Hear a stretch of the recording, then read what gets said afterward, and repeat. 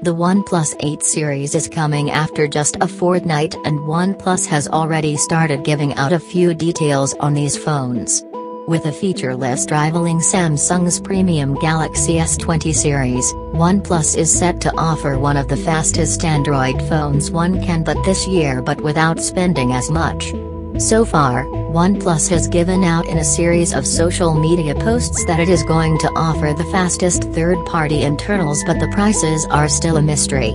Well, that's no more the case. No, OnePlus hasn't revealed the prices of the upcoming phones yet but the founder and CEO, Pete Lau, has given us some idea on what to expect if you are planning to splurge your savings on a brand new OnePlus phone this summer.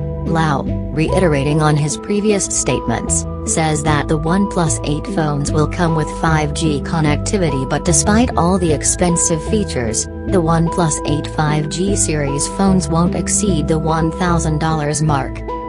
5G is an expensive technology and, as Lau says, poses many more technical challenges compared to 4G. Lau also brings the focus on engineering 5G antennas and the assisting hardware to fit into compact smartphone bodies. Prices across the supply chain, from raw materials to 5G chips, are all rising generally in the industry, said Lau.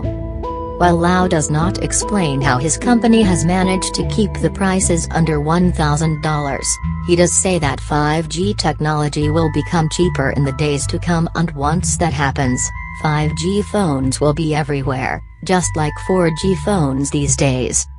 Will this make the OnePlus 8 series among the cheapest 5G phones to buy? We can't say until the launch date but we expect OnePlus 8 phones to be not among the cheapest 5G phones this year. That credit goes to Xiaomi that has been churning out affordable 5G phones in China and will soon bring them to markets like India and Europe. OnePlus is going to rely on the Snapdragon 865 chip that comes with Snapdragon X55 5G modem only.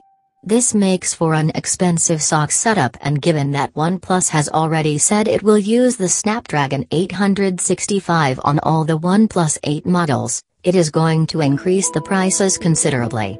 Hence, that could also be the reason why there are rumors of a more affordable OnePlus Z series this year.